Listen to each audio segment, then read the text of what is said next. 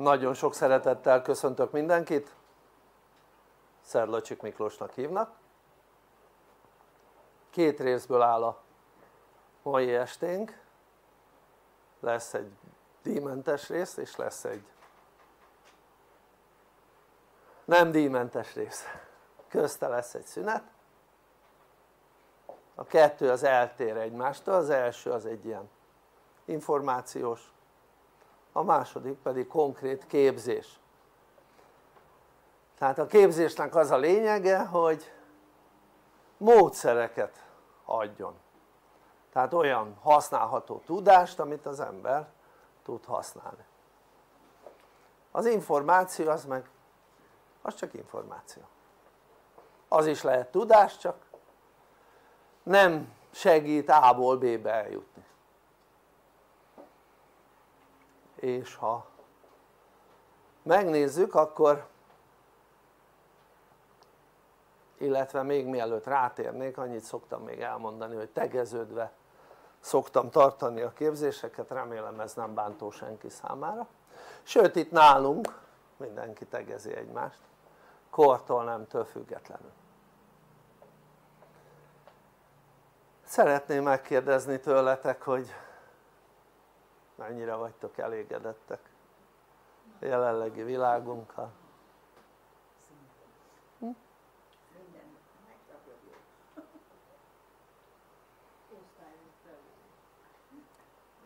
volt három hónap tavaly nem?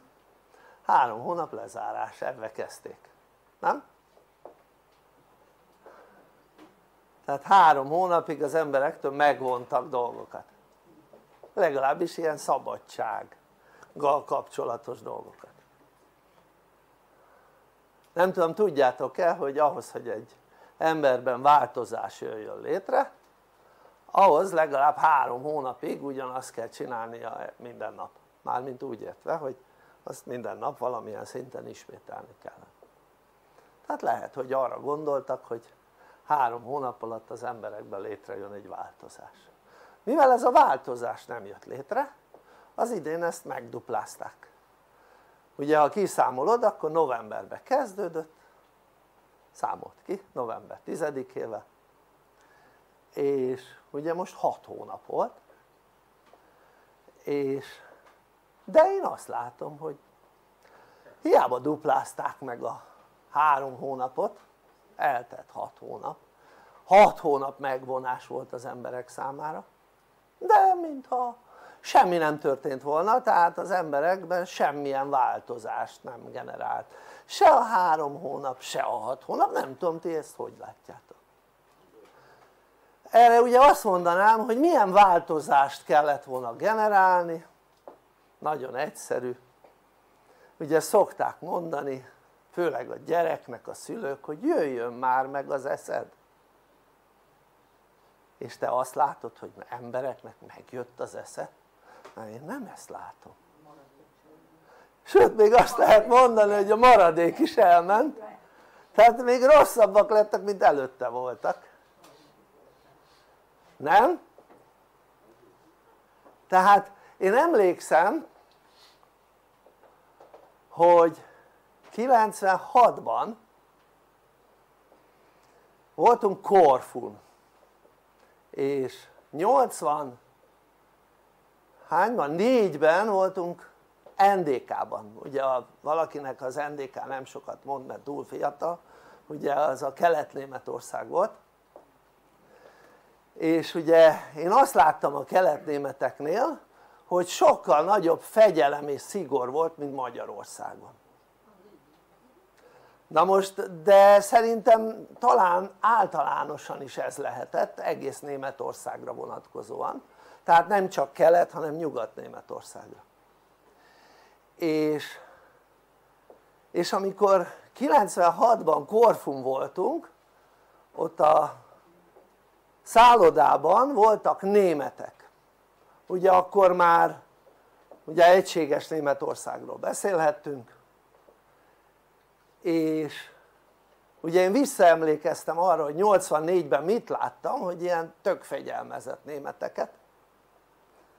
Tehát fegyelembe tartották őket inkább úgy mondanám. És mit láttam ugye 96-ban Korfut mint a kiszabadult állatok. Tehát az azt jelenti hogy Németországban ugye nem csinálhattak azt amit akartak. Na ott aztán meg ordítottak mint a fába szorultak érted? Mit tudom én buliztak hajnalig. Hát pihenni túl sokat nem lehetett tőlük. Tehát szó szerint olyanok voltak mint akik korlátozva vannak és akkor utána kiszabadulnak. Na most én nekem egy kicsit a mai most, mostani világ ahol az embereknél megszüntetik a korlátozást és kiszabadulhatnak tehát mintha erre emlékeztetne mint a, a múltban. Láttam hogy mint mikor az emberek kiszabadulnak egy ilyen korlátozott dologból. Na most miért mondom ezt? mert még egy, egy-két dolog velem kapcsolatban. Nekem volt egy nagyon szigorú apám. Tehát volt egy elég nagy, sőt van egy elég népes rokonságom anyai ágon és meg kellett állapítanom még gyerekkoromban hogy az összes rokonunk közül apám volt a legszigorúbb. És ezt mindenki el is mondta hogy az, akit ismertek azok közül apu volt az én édesapám a legszigorúbb. Tehát a legszigorúbb apa. Na most a szigor mit hoz létre? Fegyelmet.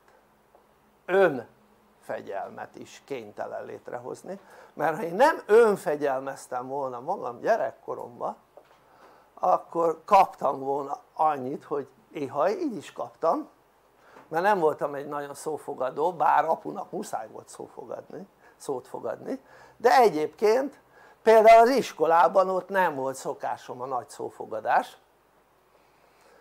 és de mégis így utólag értékel nekem. Tehát gyerekkoromban az baromi rossz érzés volt gondoljátok végig hogy állandóan fegyelmezett apám. Én otthon egy áldott jó gyerek voltam de az iskolában nem. Meg amúgy se. Tehát hogyha valami csíntevés volt az iskolában akkor én valószínűleg abban benne voltam. De az teljesen belefért, én élveztem ezt a helyzetet hogy, hogy ugye benne voltam a csínyekbe és, és hát hogy nem voltam egy áldott jó gyerek. De az önfegyelmet az belém nevelte. És az önfegyelem mint tapasztaltam abból kifolyólag hogy 87-ben kezdtem el emberekkel foglalkozni és 91-től van saját szervezésű csapatom és azóta több százezer embernek vittünk el valamilyen életjobbító foglalkozást az én vezetésem alatt és több tízezer embert tanítottam már és nem csak tanítottam hanem mivel személyes csapatom van foglalkoztam is nagyon-nagyon-nagyon sok emberrel. És azt tapasztaltam hogy ugye akik itt tanulnak tudják is hogy van egy képzés sorozatunk ami jelenleg már 27 témából áll és jóval több mint három év alatt sikerül ezt a 27 témát leadni pedig 30 óra képzésünk van havonta. És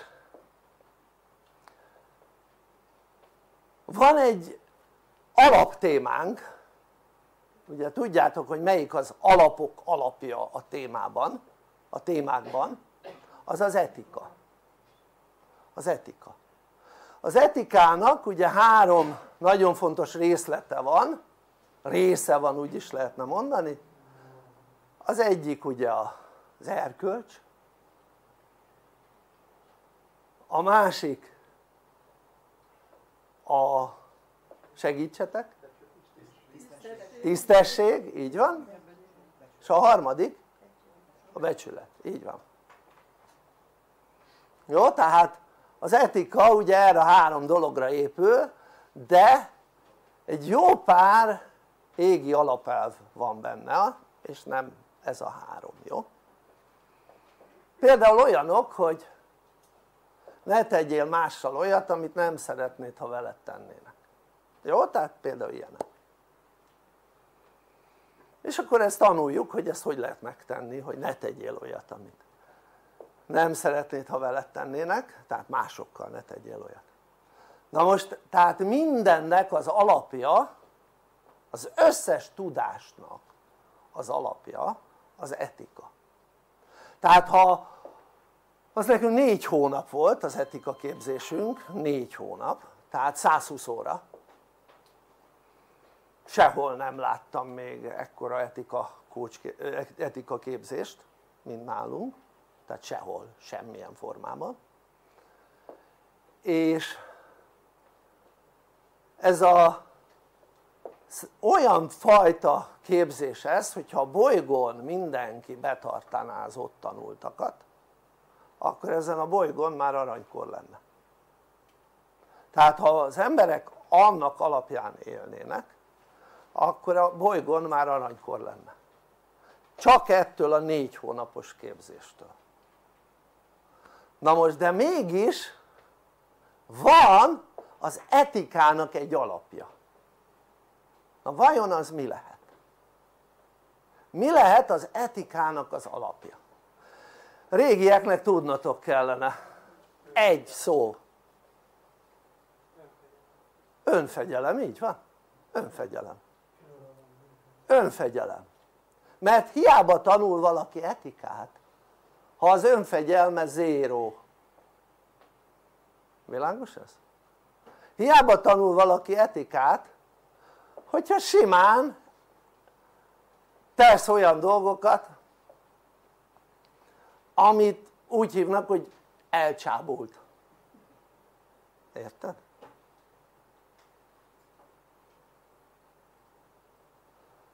Na most gondoljátok végig hogy vajon az önfegyelem kérdése az az életben mennyire lenne fontos.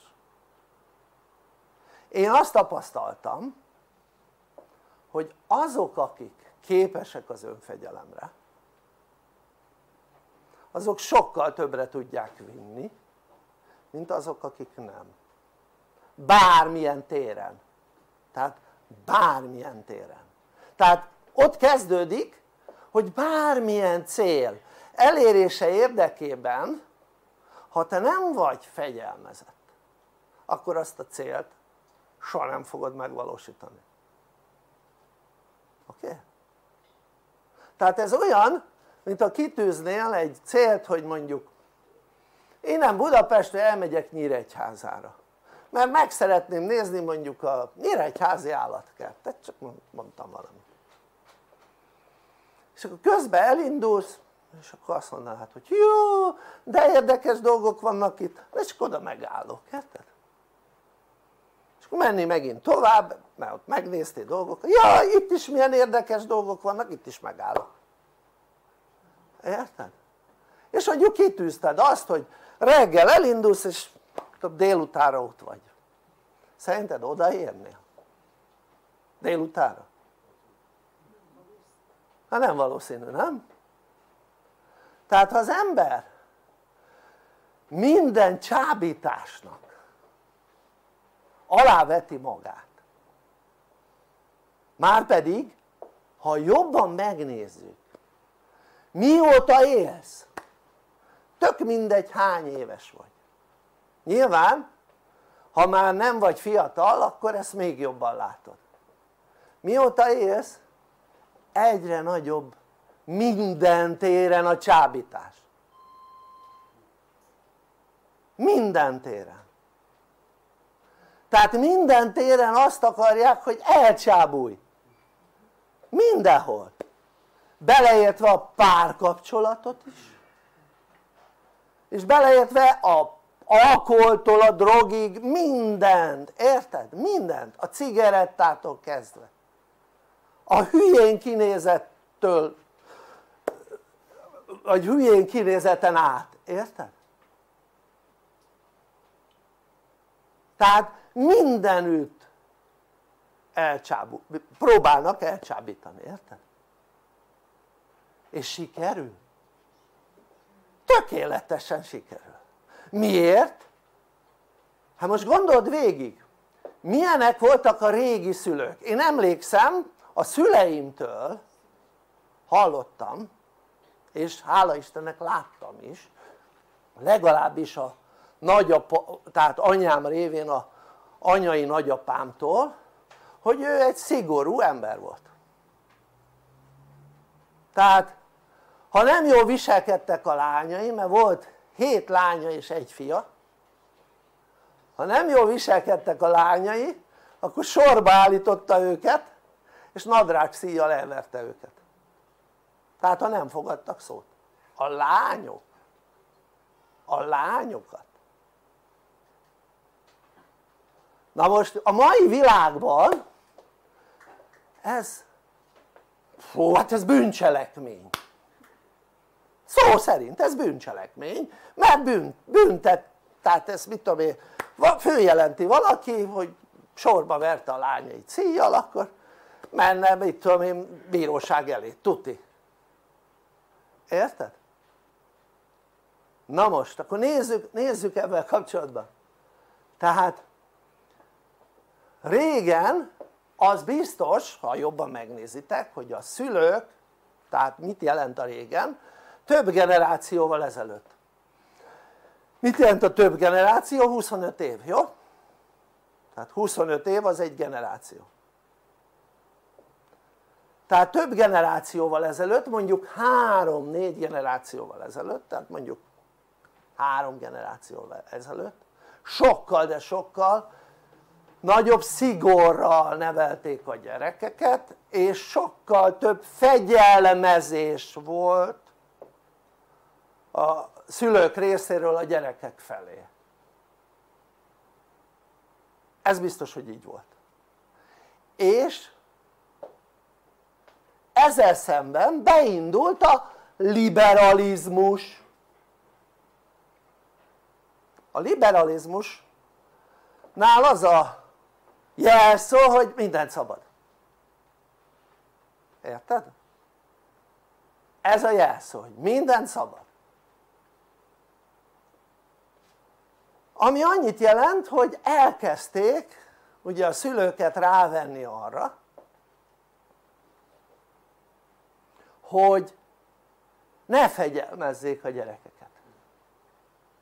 Ne fegyelmezzék. Elkezdték rávenni arra hogy ne mit tudom én, valamit csinál a gyerek amit nem kéne akkor ne büntessék meg mert az nem jó stb. stb. tehát kivették a szülői nevelésből a fegyelmezést olyan szinten hogy már ha egy szülő fegyelmezi a gyerekét az mondom bűncselekmény ilyen szinten na most ennek következtében fölnőnek a gyerekek úgyhogy fegyelmezést nem kapnak vagy nem kaphatnak én simán jártam még úgy iskolába és az még laza volt ahhoz képest amit hallottam a szülőktől simán jártam úgy iskolába hogy mit tudom én fogták és így húzták a pajaszunkat a tanárok simán jártam olyan iskolába hogy olyan körmöst kaptunk favonalzóval érted hogy utána egy jó darabig sajgott a körmünk érted? tornatanártól kaptam akkor a taslit hogy majd leesett a fejem és senki nem szólt rá a tornatanára érted? tehát volt olyan hogy a méterrudat a tanárnő eltörte a izén az egyik gyereken, érted? a méterrudat és senki nem jelentette fel a tanárnőt nem szaladtak be a szülők az iskolába érted? hogy hogy mert ilyet a tanárnő megcsinálni nem, ez tudjátok mikor volt? elsőben vagy másodikban? nem, nem mert elsőben, nem, nem akkor volt. Harmadikban vagy negyedikben bocsánat mikor a tanárnő elverte rajta, vagy eltörte rajta a méterudat. Na mindegy, általános természetes általános iskolában. Tehát volt fegyelmezés, tehát kőkemény fegyelmezés. Tehát mondjuk 7 éves koromtól 12 éves koromig szerintem átlagosan kaptam egy legalább egy pofont apámtól tehát átlagosan hetente legalább egy pofont. Érted? tehát ami azt jelenti hogy lehet hogy egy héten többet is és akkor a következő héten meg nem. Tehát tudni hogy kaptam 52 pofont egy évben. Ha esetleg mondjuk nem pofon volt akkor valami bünti na most tehát volt bőven fegyelmezés Hanában, Danában hajdan. Most már nincs. Na most nézzük meg a fegyelmezésnek mi a hátránya. Az hogy baromi rosszul esik a gyereknek. Nekem hogy, hogy fegyelmeztek iszonyú rosszul esett. És szerintem minden gyereknek hogy fegyelmezik nagyon rosszul esett. De utólag értékelve nem esik rosszul, felnőttként, érted? és tudod mit mondok? azt hogy azért tudtam azokat az eredményeket elérni mert apám olyan önfegyelmet tevelt belém amire a legtöbb ember nem képes érted?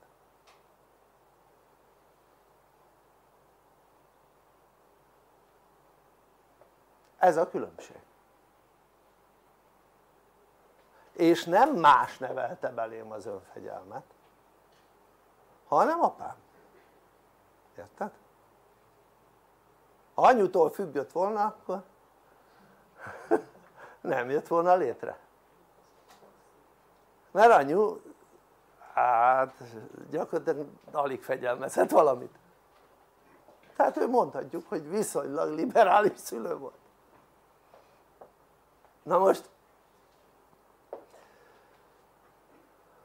például ugye hogy volt ez nálam? hát körülbelül átlag tehát annyit kellett csinálnom hogy évente egyszer meg kellett kalapálnom a fiamat a két fiúból mind a kettőt valami, nem egyszerre sose és egy évig az elég volt, érted? tényleg tehát nem egész kicsiként, nem egész nagyként hanem ugye serdülőkorig tehát mit tudom, le kellett húzni egy-két pofont vagy valami hasonlót és akkor egy évig kitartott, akkor egy évig nem, csend volt, szót fogadtak. De igazából nem én fegyelmeztem őket hanem éppen mondtam a szünetben hogy voltunk egy esküvőn és katonaság tehát egy laktanyában volt, egy teljesen átalakított laktanyába négy csillagos szállodává átalakított laktanyába. Képzeld tehát az azért nem semmi, tehát nem ismerne rá az ember hogy az laktanya csak onnan hogy megmaradtak az őrtornyok és ilyen műkatona van benne az őrtoronyban a terület szélén. És nagyon jól megcsinálták és akkor ugye mondtam hogy hát szerintem a férfiakat még mindig kellene katonának. Tehát kellene a sorállomány, miért kellene? Nem két év meg másfél év, nem. Tehát max, mit tudom én, fél év vagy tehát max fél év, de inkább bőven elég lenne három hónap. Hát minket egy hónap alatt megfegyelmeztek, egy hónap alatt. Érted? míg a kiképzés volt nálunk egy hónapos kiképzés volt rögtön sikerült a fegyelmezés egy hónap alatt. Na most gondold végig fölnőnek a férfiak se a szülőktől nem kapnak fegyelmet se a katonaságtól nem kapnak fegyelmet és akkor nem, mégse én fegyelmeztem a, a fiaimat hanem mondtam éppen a szünetben hogy jártak biciklitúrára. És voltak minden évben egy hónapos biciklitúrán is. Meg előtte ilyen vándortáboron is voltak tudom két hetesen. És ott a tanár az csak fiúkat vitt mert nem akart ilyen menstruációs meg egyéb problémákkal foglalkozni és, és katonás fegyelmet tartott a fiúknak tehát ő volt katona és szó szerint katonás fegyelmet, tehát úgy kezdődött az egész hogy előírta hogy a gyerekek mit vihetnek és mit nem és amit nem vihettek a gyerekek ha valaki hozott azt elvette oké? Okay? Tehát szó szerint katonás fegyelmet ami azt jelenti hogy rendes takarodó volt ébresztő stb.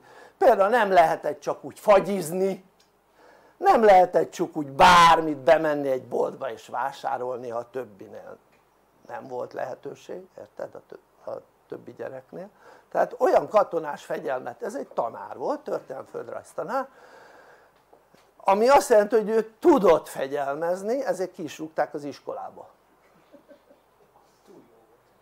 így van. Tehát nem vert senkit, nehogy félreértsétek, senkit nem bántott, egy pofont se adott de tudott fegyelmezni. Egy szigorú tanár volt és ezt a szigort ugye ezt a bicikli túrákon is ugye a fiaim azok hány éves? 10 éves koruktól jártak 18 éves korukig.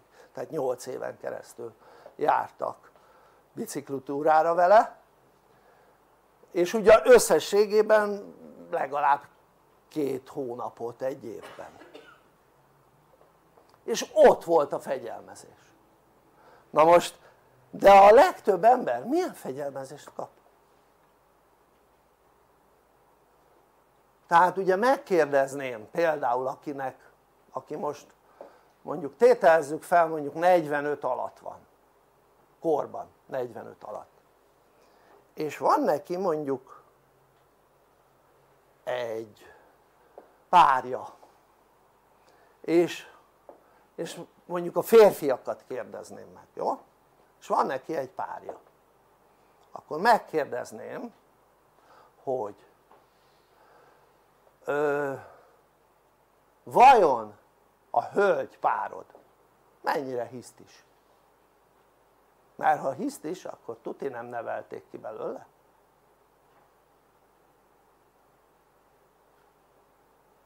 hm? csak úgy megkérdezném szokott-e hisztizni? az nem betegség a hiszti a hiszti az egy gyerek próbálkozása és a gyereknek amikor próbálkozik nem nevelik ki belőle a hisztit és ugye sajnálják a szegény kislányból kinevelni a hisztit. Egy alkalommal ki lehet nevelni belőle hogy hogy azt nem mondom. Mondom egyetlen egy alkalommal ki lehet nevelni belőle de nem csinálták és ezáltal hány hiszt is fiatal nőt ismersz mondjuk 45 év alatt? Aki időnként fogja és ha nem úgy történnek a dolgok ahogy ő szeretné akkor behisztizik mit jelent a hiszti? dűroham, jó? hát az azt jelenti hogy dűroham tehát dűrohamot kap próbáltam volna apámmal szemben dűrohamot kifejezni oké? Okay? ezt csak úgy mondom és de ugyanez a férfiak ha megnézed akkor most fordulok a hölgyekhez hogy van-e olyan párod aki időnként dűrohamot kap? Hm?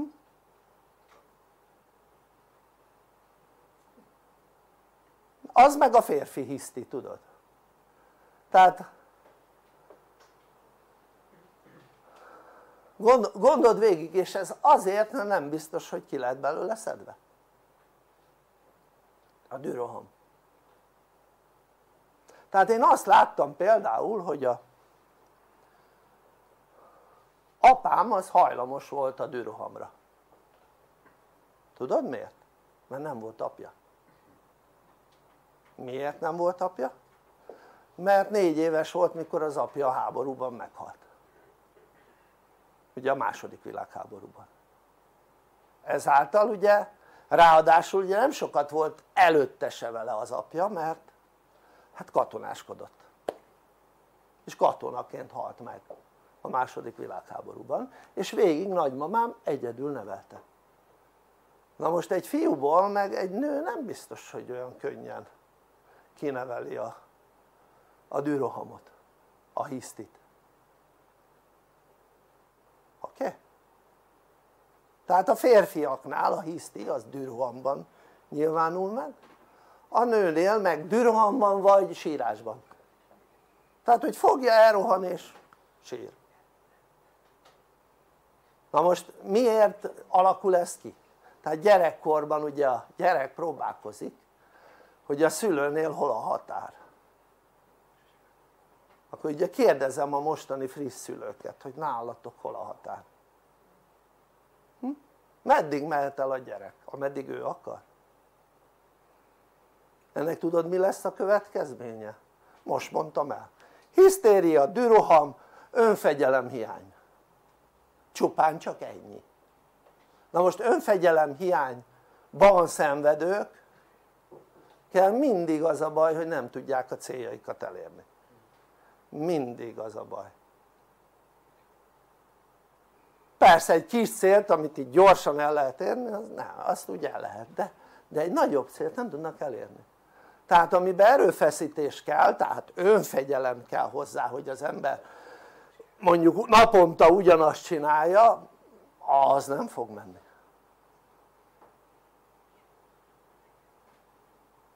Bár mondod ugye most magadban hát a munkát is naponta csinálod. Aha de azt muszáj. Ami nem muszáj. Érted? hát ezért van az hogy például mondjuk valaki tudom én. Hagyja magánál hogy mondjuk kiterebélyesedjen és mondjuk elhízik akkor ugye tudja hogy az nem jó neki. De mégse tud annyit tenni hogy naponta tegyen azért hogy kezdjen visszafogyni. Tehát most nem meg akarok vele senkit se bántani csak félre ne értsétek csak elmondom a folyamatát tehát ahhoz hogy valaki fogyjon naponta kell tenni érte oké? Na most az meg mivel nem muszáj tenni ezért nem tesz önfegyelem hiány úgy hívják világos ez? ugye azért jársz be dolgozni mert muszáj megélned és azt muszáj naponta csinálnod világos? az túl sok önfegyelem nem kell mert egyszer muszájból mert különben főkopik az állat de mondjuk a fogyás az nem muszáj igen ám de ha mondjuk lesz belőle egy egészségügyi problémája és muszájá válik a fogyás na akkor már csinálja, érted? na most a célok nagy része az nem muszáj érted? Az nem muszáj. A célok nagy része az csak egy egyszerű olyan dolog amit az ember kitalál és általában a legtöbb embernél vágy alapon működik. És akkor ú de jó lenne ha ez lenne nekem vagy ezt csinálnám vagy ezt elérném vagy ez történne vagy ez lenne az lenne. Ezt mondják az emberek. Tehát ez nem muszáj ugye van egy ilyen mondás hogy a muszáj az nagy úr de nincs muszáj oké? Okay? na most még az a baj hogy az emberek nem érzik a muszájt nem érzik a muszájt nem volt elég rá a három hónap a muszájra nem volt elég a hat hónap a muszájra figyeljetek szavamra még a kilenc hónap sem lesz elég csak úgy mondom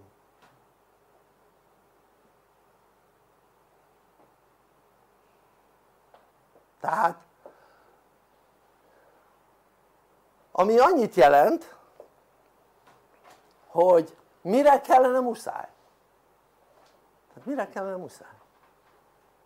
tehát ugye van egy probléma a mai társadalommal beleértve az én korosztályomat is hogy önfegyelem hiányosak az emberek a fiatalabbak még inkább és ez egyértelmű neveltetés oké? Okay? ha téged nem fegyelmeztek kellőképpen gyerekkorodba vagy mondjuk a katonaságnál hát tuti hogy önfegyelem hiányjal küzdesz ezt ide a rozsdás bököt oké? Okay? Ha tetszik neked, ha nem akkor is így van. Lehet hogy most ezzel ellen tiltakozik az egód de ha belegondolsz és az egódot egy kicsit kikapcsolod akkor rájössz arra hogy igazam van. Na most de én ugye megkérdezném tőled és mit tudsz így visszamenőleg kezdeni vele? Van-e rá technológiád? mert nekem van. Annak ellenére hogy ugye nekem az önfegyelem az felnőttként sose volt probléma. Gyerekként ott az más helyzet volt de felnőttként. Szóval gondold végig hogy milyen technológiád van rá, már pedig ez úgy működik hogy ha te nem fegyelmezed meg magadat akkor az élet fegyelmez meg téged. És ez egy nagy igazság minden embernek és ha megnézed azokat az embereket akik nagyon nem voltak fegyelmezettek nézd meg idős, milyen időskort érnek. Élnek. Jó? milyen időskort értek el és milyen időskort élnek most. Szerintem te ezt nem szeretnél olyan időskort élni, én biztos vagyok benne tehát a, maga az önfegyelem az mindennek az alapja. Tehát nincs etika önfegyelem nélkül. Nincsenek cél, nagy célok megvalósítása önfegyelem nélkül. Nem lehet önfegyelem nélkül nagy célokat megvalósítani. Most akkor nézzük hogy miért is mondom ezeket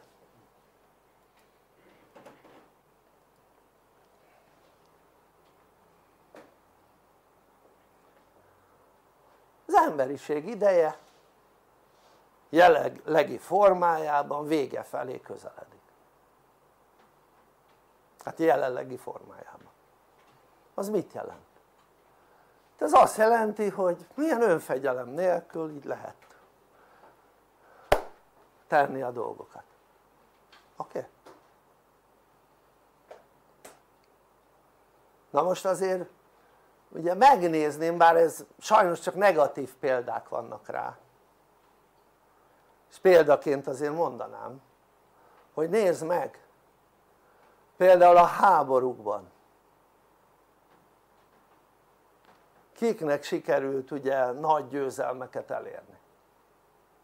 Azoknál a hadseregeknél akik nagyon fegyelmezetten csinálták a dolgukat. Érted? Sportolók kik érnek el nagy eredményeket? akik nagyon fegyelmezetten végig csinálják az edzéseket tehát ha megnézed az életben minden nagy eredmény mögött ott van a nagyon nagy fegyelem, önfegyelem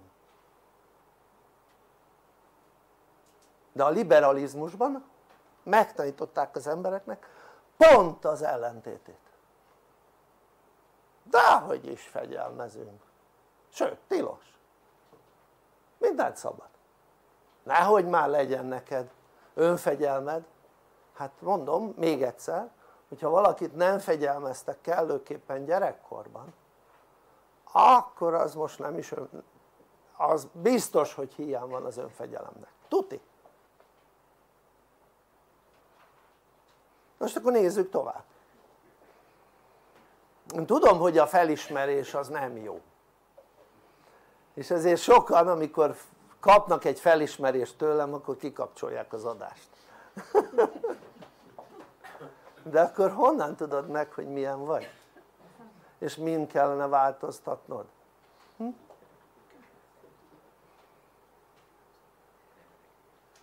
honnan tudod? Csak akkor tudod meg hogy mind kell változtatni hogyha rádöbbensz magaddal kapcsolatban hogy mind kell változtatnod érted? tehát engem az átlagnál jobban megedzett az élet például azzal is hogy volt egy ilyen nagyon erőteljes apám. Ott kezdődött az egész. Tehát ott kezdődött. És tényleg a, ugye 87-től kerültem olyan élethelyzetekbe ahol olyan dolgokat éltem meg amit a legtöbb ember biztos hogy nem. Na most miért mondom ezt? mert ugye elolvastátok hogy itt mi van leírva? Mi képzéseket tartunk. Azért hogy az emberek képesek legyenek az élethelyzeteiket helyesen kezelni problémáikat megoldani illetve megelőzni. Céljaikat megvalósítani, célokat megvalósítani önfegyelm nélkül nem lehet. Legalábbis nagy célokat és ebben tudjanak másoknak is segíteni, tudják az életüket és az embert jobbítani. Miért? mert ugye az imént említettem hogy ez a fajta működés itt a vége. Na most ugye nekem van olyan információs csatornám hogy mi van a fenti világban. A lenti világ nem érdekel fenti világ, mi az hogy fenti világ? az azt jelenti hogy olyan világ ahonnan jöttünk és ahova tartunk. Tehát minden értelmes lény a fenti világból származik. Minden értelmes lény, még a gonoszak is. Csak gonoszszá váltak az idők során csak úgy mondanám hogy senki nem születik emberként sem gonosznak, jó? maradjunk ennyiben. Csak gonoszszá válik az ember. És ugyanúgy az értelmes lények is. A fenti világból származnak és gonoszszá váltak az idők során. Na most a fenti világ akkor az ezek szerint nem gonosz? Így van tehát nem egy gonosz világból származunk. Nem mint test. Mint értelmes energialény. Ezt pedig úgy hívják hogy lélek. Tehát mi egy olyan világból származunk a lelkünk ami ahol nincs gonoszság, érted? ahol nincs gonoszság ahol nincs elnyomás. És akkor mit csinálnak azok a lények ahol nincs elnyomás, nincs gonoszság? Teszik a dolgukat. Saját maguk. Nem kell utasítani őket. Nem kell elérni azt hogy szükségből dolgozzanak, érted? a földön az emberek nagy része tudod miért dolgozik? Mert különben éhe halna. És ha nem kellene azért dolgozni hogy ne halljon éhen akkor nem dolgozna. Nem mindenki de a, a nyugati társadalom nagyon nagy része, érted? nem dolgozna. Szívesen dolgoztat az ember mint látod de dolgozni nem szívesen dolgozik na most képzeld el akkor a fenti világban meg úgy dolgoznak a lények hogy nem kell elérni nála hogy szükségből dolgozzon érted? hanem tudod miért dolgozik? a teremtésért ha az ember szükségből dolgozik soha nem fogja megélni a teremtés örömét soha tehát a teremtés az egy olyan érzés ami az olyan mint, mint mondjuk mikor valaki megnyeri a olimpiai aranyat érted? nem annak aki nézi hanem annak aki megnyerte érted? tehát ez egy olyan érzés maga a teremtés érzete. Csak ugye a teremtés érzetében az az különbség az olimpiai aranyhoz képest hogy az olimpiai arany az egy eseti dolog. És nem napi vagy havi szinten nyernek olimpiai aranyat az emberek. Hát ha valaki nyert már három olimpiai aranyat akkor kiemelkedő a sportágában oké? Okay? ami azt jelenti hogy tud nyerni mondjuk négy évente egyet és akkor 12 év alatt nyert mondjuk hármat nem túl sűrű amikor az ember képes arra hogy teremtsen és most nem emberi lélekként kell csak gondolkodni hanem lélekként kell gondolkodni akkor a fenti lények napi szinten megélik a teremtést. Tehát azt az érzést amit az olimpiai aranyérmes négy évente egyszer tud megélni. Most gondold végig mikor fogják a fenti lelkek és létrehoznak egy naprendszert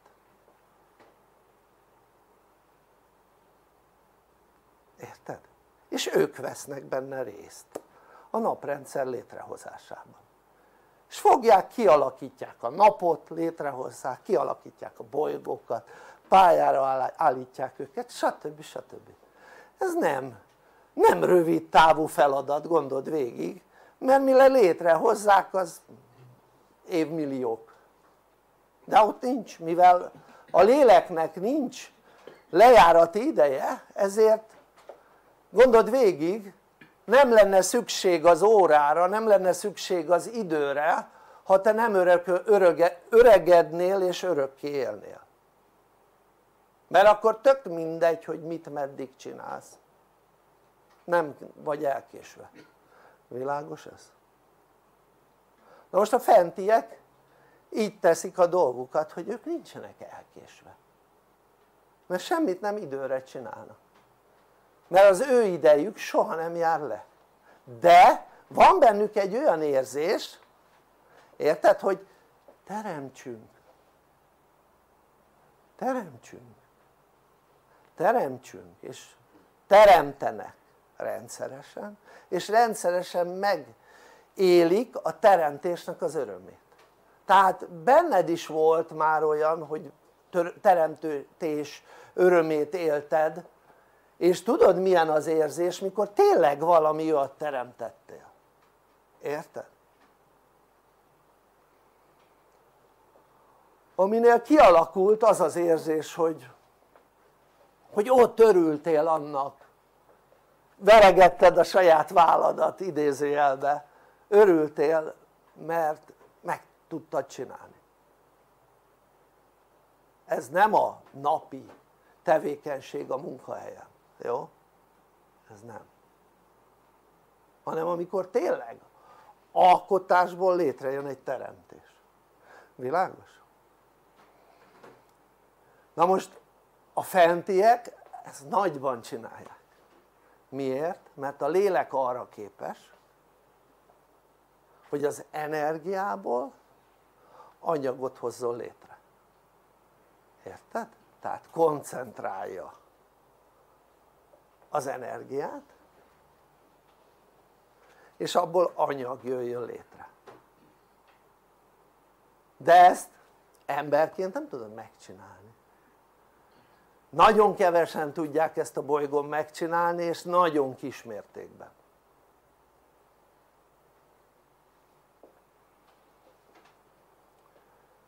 tehát mondhatjuk hogy itt a földön ez egy különleges képesség de a fentieknek ez egy természetes dolog.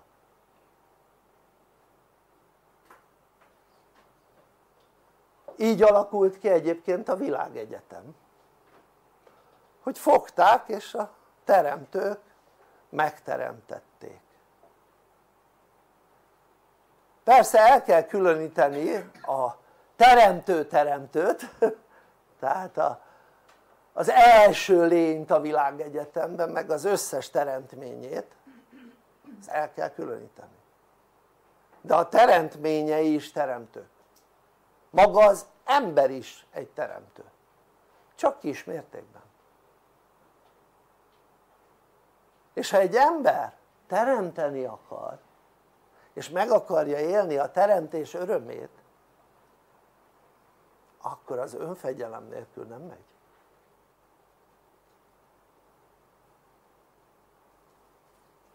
oké? Okay? még egyszer kérdezem van-e technológiád? ha már elszúrták a szüleid az önfegyelem kérdését hogy legyen mégis felnőttként kellő önfegyelmed arra hogy képes legyél teremteni hm? ráadásul nekünk embereknek van egy kiváltságos helyzetünk. Amivel nem rendelkeznek a többi lények. Milyen lények? értelmes lények. Nem rendelkeznek. Ez a kiváltságos helyzet abból adódik hogy a tudtodon kívül kapsz segítséget. A fenti lények, a teremtők tehát a isteneink úgy is lehetne mondani ott nincs olyan hogy a tudtuk nélkül kapnak segítséget. Ők tudják hogy ha kapnak segítséget. Az emberek nagy része főleg itt a nyugati társadalomban fogalma nincs arról hogy kap segítséget. Ami hogy pontosítsuk a dolgot a következő mindenkinek van elvileg ha még jó ember jó? őrangyala oké? Okay?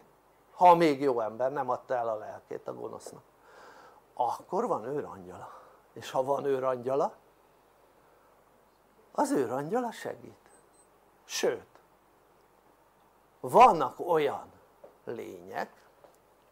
Ugyanúgy mint az őrangyalok csak nem ebben a titulusban hogy őrangyal csak simán angyal akik azért vannak itt hogy az őrangyalok segítségével összeállítsák a dolgokat.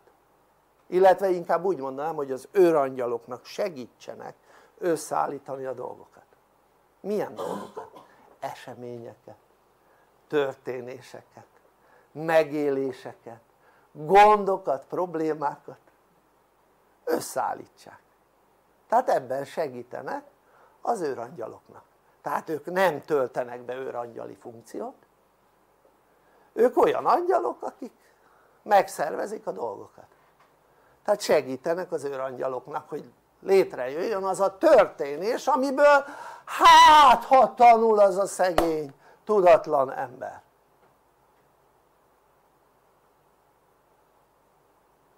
és akkor a tudatlan ember mit csinál?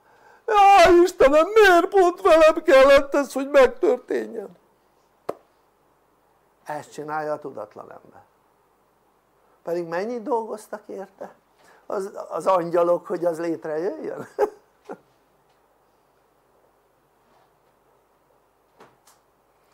Sehol máshol nincs ilyen.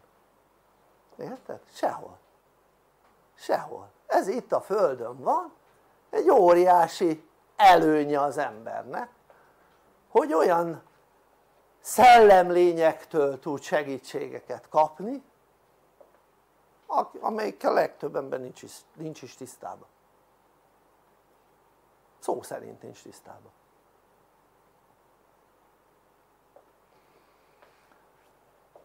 Na most például csak gondold végig, neked melyik a jobb? az hogyha vannak segítő szellemlények körülötted vagy azt gondolod hogy nincsenek melyik a jobb neked? Hm?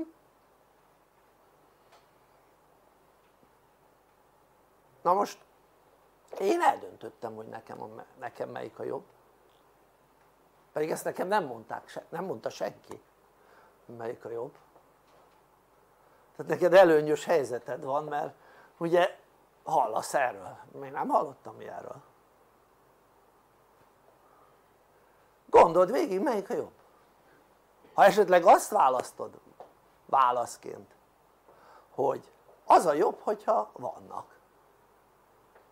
Hát ha azok lények akkor azokkal lehet kommunikálni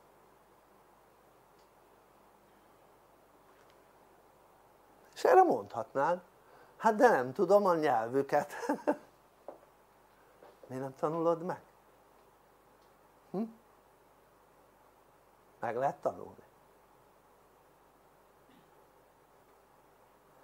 de másfajta nyelv tanulás az mint mondjuk most te magyar vagy és megtanultál vagy megtanulsz egy idegen nyelvet mondjuk angolt, németet vagy franciát vagy bármi más tehát ne ilyenre gondolj.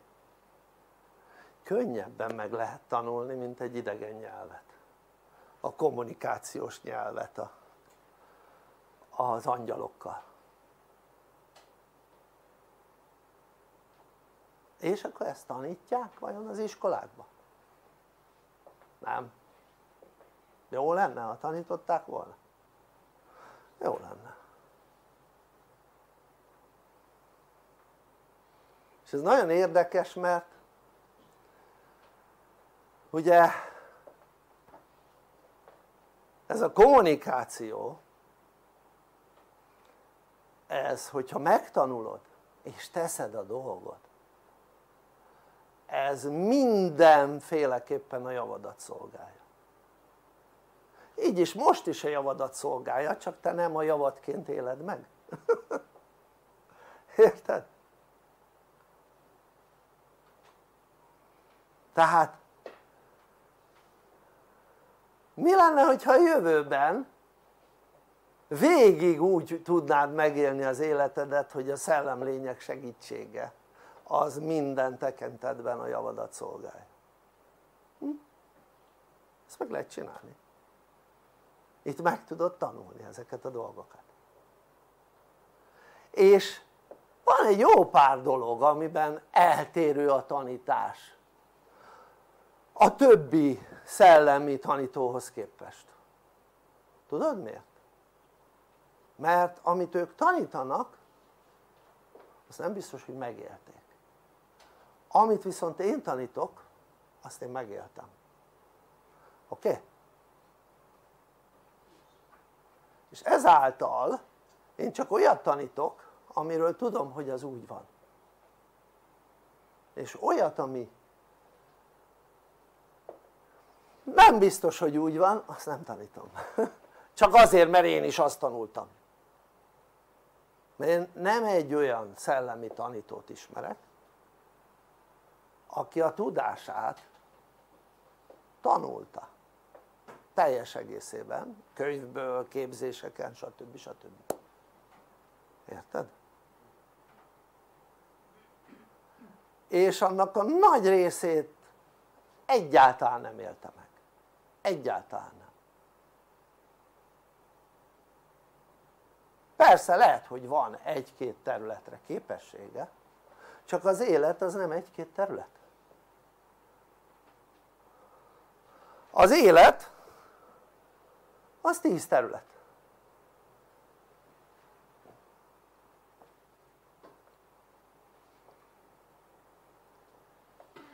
És ezen jó ha mindenhol jól működsz, minden területen jól működsz.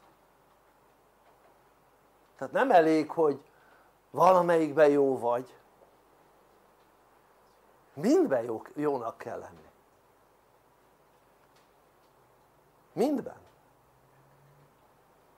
Hát most gondold végig hogyha ezekben nem jók az emberek vagy nem is lesznek jók akkor menjünk ide-vissza hogy lesz itt aranykor? Hm? mit jelent az aranykor? csak hogy tisztázzuk visszamegyek ide mert láttam hogy volt aki írta mit jelent az aranykor? hogy nincs elnyomás vajon? tapasztaltál elnyomást az életedben? Biztos vagyok benne. És mikor tapasztaltál a legnagyobb elnyomást? Hm? hát szerintem ha megkérdeznénk az emberektől akkor azt mondanák hogy most a másfél évben. Nem. Tehát ekkora elnyomás sose volt. Tehát a fiatalok nem éltek a szocializmusban és azt tanították neki történelmből hogy milyen elnyomás volt. A szocializmusi elnyomás ehhez képest piskota volt jó? mondom a fiataloknak csak hogy tisztában legyetek ezzel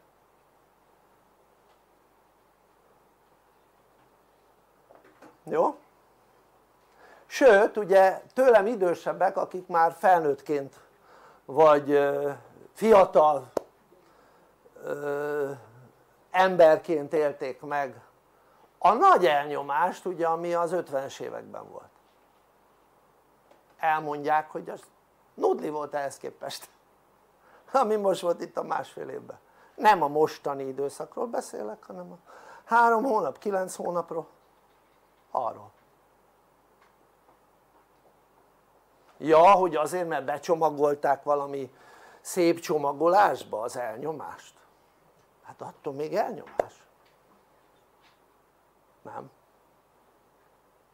Nevet adtak az elnyomásnak attól még elnyomás megmagyarázták az elnyomást attól még elnyomás nem?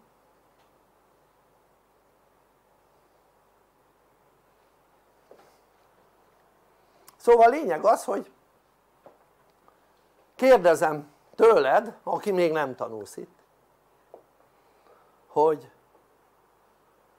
hogy oldod meg a helyzeteket majd az életedben ami lesz márpedig ez úgy lesz hogyha nem lesz aranykor ugye régebben mondtam mész a levesbe. Illetve megyünk a levesbe. Azt szoktam mondani. Nem véletlen van itt határidő. Tehát nem úgy hallod ezt a témát már mint a múltban hogy hát majd valamikor valamit el kell érni. Hát nem így van. Határidők vannak és akkor nézzük meg még milyen határidők vannak, jó?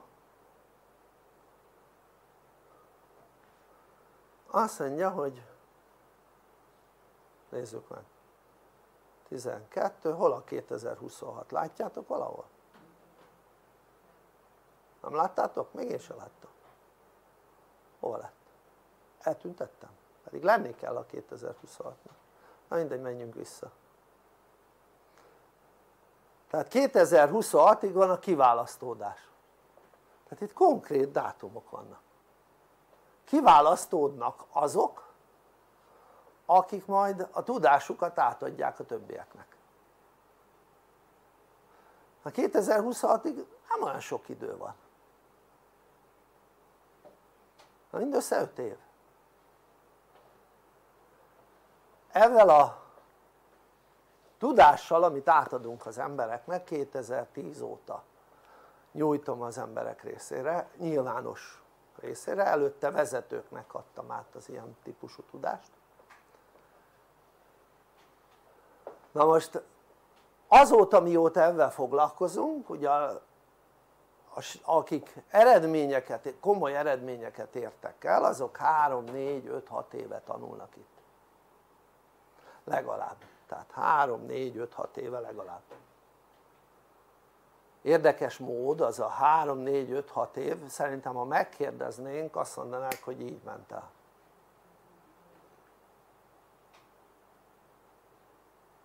Ami azt jelenti hogy ahogy idősödik az ember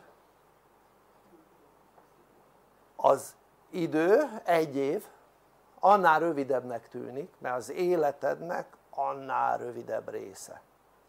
Tehát minél idősebb vagy annál rövidebbnek tűnik egy év. Tehát egy éves gyereknek az egy év az nagyon hosszú volt mert az az egész élete. Egy öt évesnek is az egy év nagyon hosszú mert az egy ötöd az életének. De egy 70 évesnek az egy év az csak egy hetvened része az életének. Ezért relatíve úgy tűnik hogy mintha gyorsulna az idő az öregedéssel. Nem gyorsul az idő hanem az életednek egy kisebb része az az egy év vagy az az egy nap vagy az az egy óra. Érted? és ezáltal nehogy azt hidd hogy ez a következő 4-5 év ami 26-ig van 5 év az rövidebb lesz mint az előző 5 év vagy hosszabb lesz akarom mondani hanem rövidebb lesz, érted? rövidebbnek fog tűnni tehát a következő 5 év hamarabb el fog telni látszólag úgy fogod érzékelni mint az előző 5 év érted? tehát az idő az nem több lesz hanem fogy és akkor ugye kérdezném hogy vajon mi lesz veled?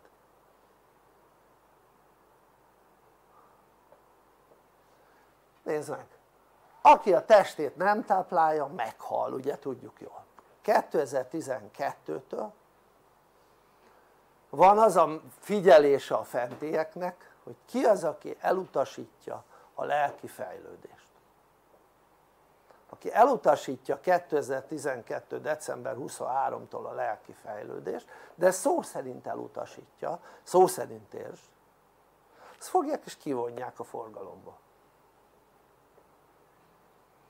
aki még ebben kapcsolatban bizonytalan azt nem vonják ki oké? Okay?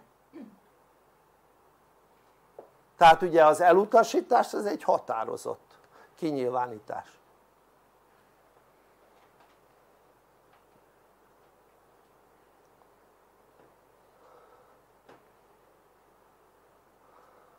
és akkor ugye megint ott a kérdés hogy mi lesz velük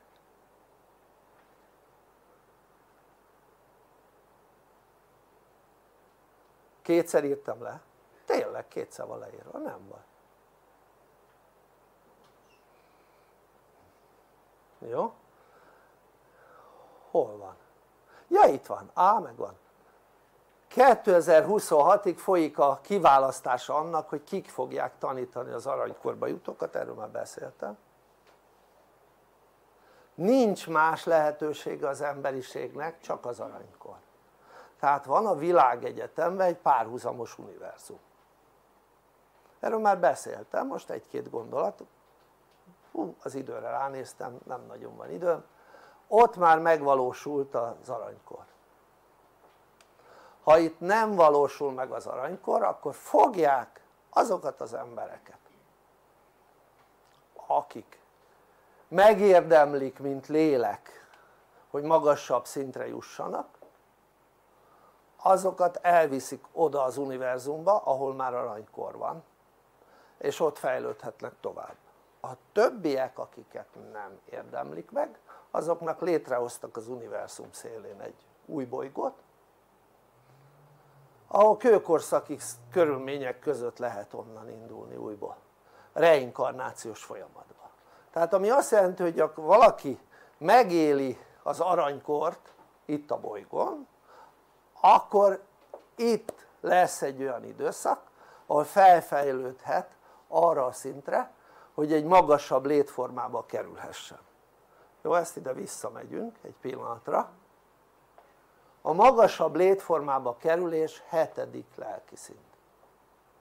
De ezt nem lehet megélni tömegesen csak az aranykorral együtt világos ez? addig ugyanis ameddig az ember elnyomást kap addig nem tud töretlenül fejlődni. A fejlődése ilyen. És szándékosan mutatom hogy nem ilyen hanem ilyen. Tehát amikor te azt érzed hogy fejlődsz és olyan tehát nem tudod kezelni az elnyomást, olyan környezetben élsz ahol elnyomás van úgy esel vissza ahogy kell és akkor utána megint fölküzded magad, ó már megint fejlődök. Már megint visszaestél. Vagy megint fölküzdöd magad, már megint fejlődök. És akkor azt gondolod hogy fejlődtél valamit, nem. Ennél a szintén nem fejlődtél tovább. Világos voltam? sajnos. Ez így működik. Elnyomás alatt az embernél.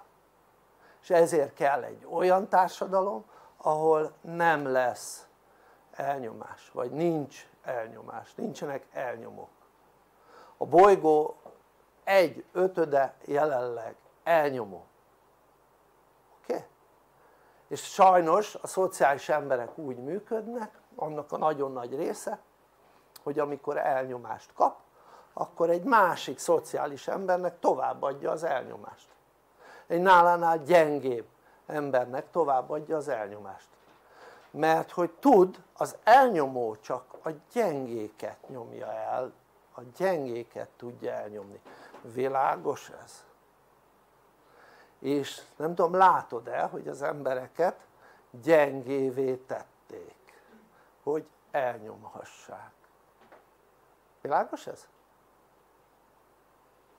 és ennek egyik része volt a liberalizmus része volt az fegyelemhiány és az önfegyelmezés hiány és ezáltal az önfegyelem hiány. És az azt jelenti hogy azok az emberek akik önfegyelem hiányosak sajnos ugye mint említettem nem tudnak olyan eredményeket elérni és ezért rászorulnak külső segítségre.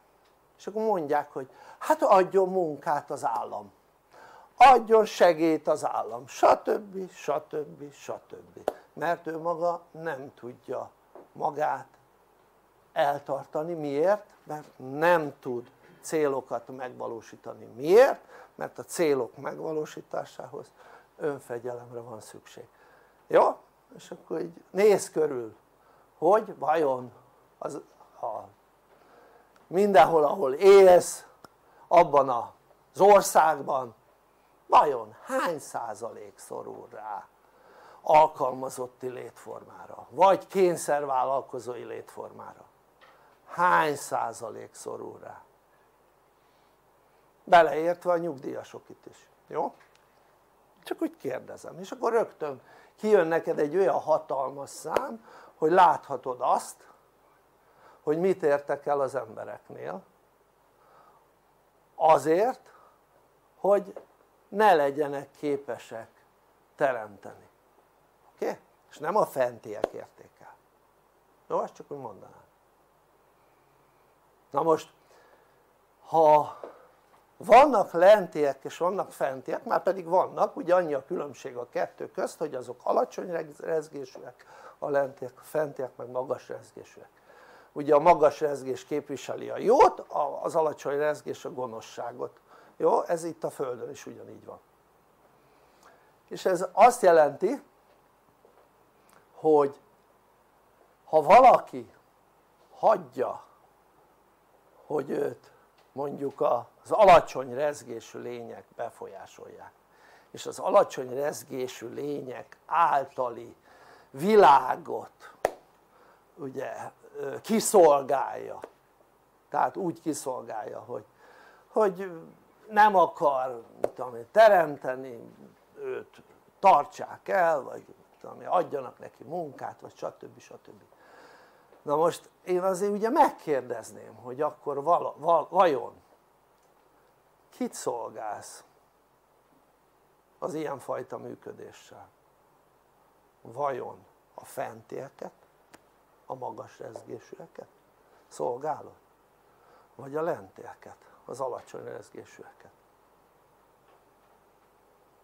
mert hogy nem a magas rezgésűeket szolgálod az biztos világos ez? tehát a magas rezgésűek azok elmondtam az imént hogy mit csinálnak, miben vesznek részt oké? Okay? és azok a, le, azok a szellemlények is akik angyalként segítik az emberek életét azok is magas rezgésű lények de persze vannak olyan szellemlények amelyek nem magas rezgésű lények és nem fentről vannak itt hanem lentről oké? Okay? sokat tudnék erről beszélni de ugye ez csak információ, ez nem módszer de az módszer hogy hogyan érd el azt hogy haladj így felfele a lelki fejlődés szintjein. Módszer nélkül nem fog menni. És hogy eljuss az aranykorba. Tehát itt lesznek emberek akik mindenféleképpen aranykorba jutnak még akkor is ha ezt a bolygót megsemmisítik mert útban van az alacsony rezgés ezen a területen mert akkor megyünk abba a bolygó, bolygóra ahol már aranykor van, világos ez? de most nem úgy néz ki hogy a legtöbb ember a bolygón aranykorba jutna. Nem így néz ki. Tehát a fentiek elhatározták azt hogyha itt nem emelkedik meg a bolygó rezgése az emberiség által akkor ezt a bolygót berobbantják úgy ahogy van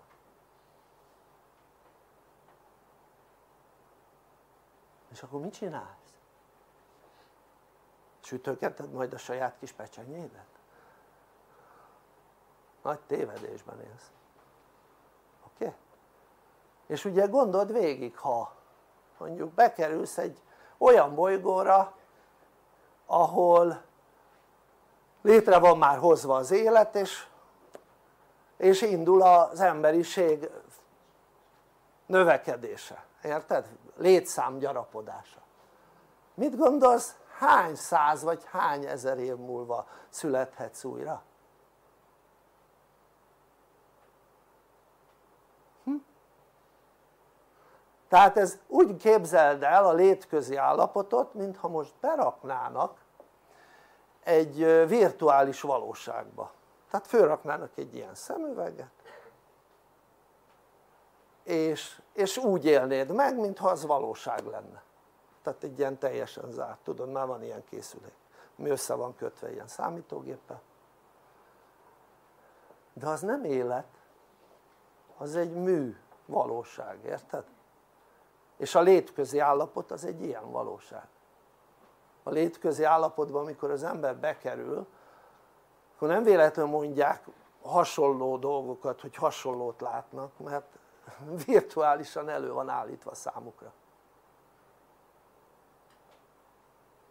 Érted? tehát ami azt jelenti hogy nehogy azt képzeljük hogy megyünk minnyáján a magasabb létformába annak alapján amit itt tettünk. Mert ugye ezt tanítják hogy megyünk a mennyekbe, ha persze és ott mit fogsz csinálni azzal a sok etikátlansággal amit megéltél, főleg a mulasztásokkal hm? hát eleve ugye az emberek egy jó része azért van itt a bolygón mert vagy engedetlenkedett lázadozott ugye? Vagy azért mert nem tette a dolgát lustákodott. Vagy mi a harmadik? Segítsetek. Van egy harmadik. Ja ártó tetteket csinált így van. Tehát elnyomoskodott oké? Az az ártó tett az elnyomoskodás jó? ezért kerültek ide az emberek akik ide kerültek de te valószínűleg nem ezért kerültél ide hanem kihúzd a slamasztikából azokat akik ezért kerültek ide világos ez? de hát a döntés az a tiéd de ugye csak egyetlen egy dolog lehet az pedig az aranykor, semmi más. Csak az aranykort egy ember vagy kettő vagy tíz vagy száz vagy ezer nem tudja megcsinálni. Az sok ember kell. Oké? Okay? és meg kell csinálni. Meg kell csinálni. Na most ugye például ezzel kapcsolatban csak egy mondat még itt befejezésként ugye annak idején is amikor piacvezetői pozícióba kerültünk három különböző területen, az első nem számít, második, harmadik. Mikor a legkisebbek voltunk azt mondtam hogy a legnagyobbak leszünk. Megcsináltuk. És ugyanígy a kócsképzés területén is azt mondtam hogy legkisebből indultunk legnagyobbak leszünk, meg is csináltuk Magyarországon mi vagyunk már a legnagyobb kócsképző intézmény